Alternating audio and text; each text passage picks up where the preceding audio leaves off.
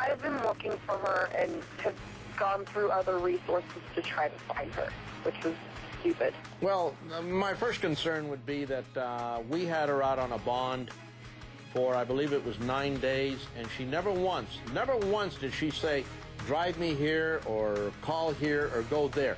None of that at all. Her attorney hopes to convince Circuit Judge Stan Strickland on Friday to allow Casey to travel secretly to places of interest in this case to, quote, assist with the search of missing child Caylee Anthony.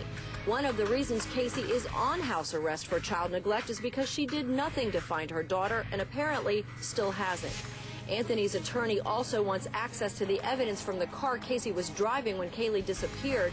He's trying to pull that evidence into the child neglect case so his expert can get to it. Attorney Jose Baez says he's entitled to all the information because Casey has suffered the public's hatred and that law enforcement or the state attorney's office has successfully tried a homicide case against the defendant in the public eye. If anything happens to Caylee Casey, I'll die.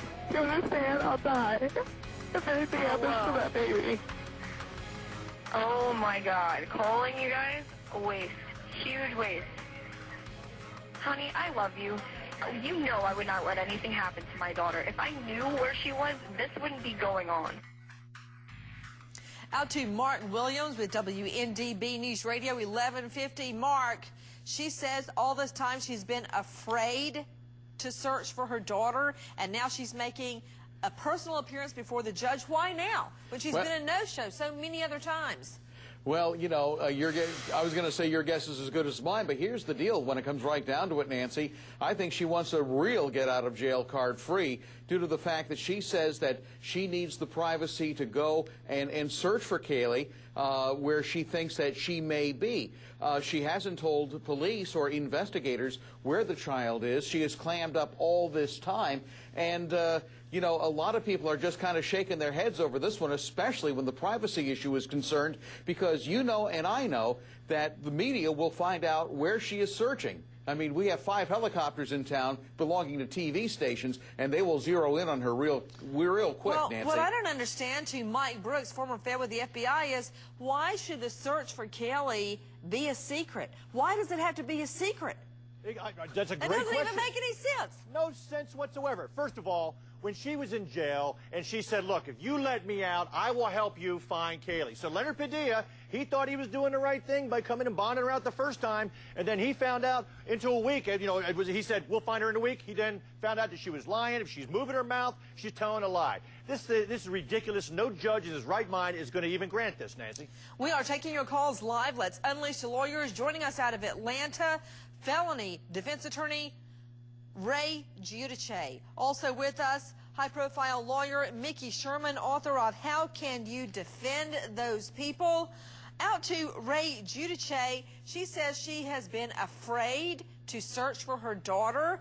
Afraid of what? Well, Nancy, let me just say, I think the judge is going to deny that motion very quickly. He's not going to allow Not her to I tramp asked. around. I think that she's. I think it's a ruse. I think it's a strategy that there's some mafia or some violent people that have the child, and she's afraid to interrupt. That's come out in many of her tape-recorded statements. But again, that motion is going to be denied. Come on, Mickey Sherman. She's sitting around the dinner table at her boyfriend's apartment making pasta dinner. She's afraid of the mafia. You know, she's so strange. But you know, the problem is that if she didn't make at least a seemingly appearance of looking for a child, we'd be criticizing her for that. So she's damned either way. Uh, you know, is she being No, I disagree, Mickey. If she had been at the get-go out there, look, I mean, think about it. Right. Think about it. Yeah, i- i- in Uh, if your world, children go missing, you'd be out there screaming in the streets, lying across the front steps of the police station, begging for help. If she had done question. that, no one would be throwing a stone at this point. Well, I guess she's trying to make the point that it's never too late to start doing the right thing. Here's where she's looked so far. Her boyfriend's apartment, we know, at the kitchen table. Fusion Lounge under every bar stool possible, and a good search around the tr- stripper pole. Amscott checking where her car ran out of gas. And Blanchard Park, where she claims she lost her cell phone. Oh, yes, there was the big search at Buffalo Wild Wings, Mickey Sherman. Of course, people are throwing stones. Well, the other problem is, as Mike points out, there's nothing she's going to do that's going to be secret. this woman has an aura of uh, publicity around her 24-7 while she's out of jail. Ray, what about Sherman's theory that damned if she does, damned if she doesn't?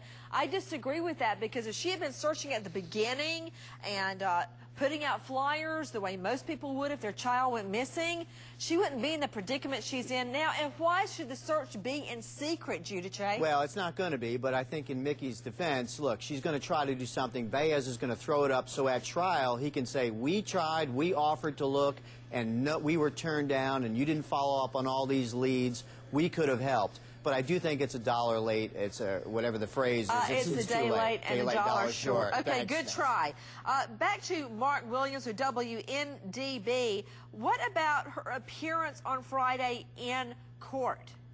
Well, that appearance takes place at 10:30 a.m. in an Orange County courtroom. She'll be accompanied by Jose Baez, her attorney, who, of course, is going to say say to the judge, you know, let Casey uh, uh, expand her horizons a little bit. Let's get her out of home confinement. Let's let's let her search for the child. But again, I agree with your other guess. Uh, a, a day late, dollar short, because you know, as as you know, Nancy, some of the uh, investigators have said Casey's no longer with us, or Caylee's no longer with us. To Tim Miller, the head of Texas EquiSearch. Texas EquiSearch uh, now resuming the search. They are headed back to Orlando to search for Caylee. As you know, Tim Miller, not just a veteran searcher, but also a crime victim himself. Mr. Miller, why are you heading back? Uh, Nancy, why not? I mean, we've still got a missing girl. Uh, you know what? It's never too late to, to continue a search. Uh, I truly believe that Caylee is out there. I, I would love to believe that she's still alive, but Nancy, uh, I, I, I truly, from my heart, don't believe that, and I believe that she's findable, and the only way she's going to be findable is let's go search some more.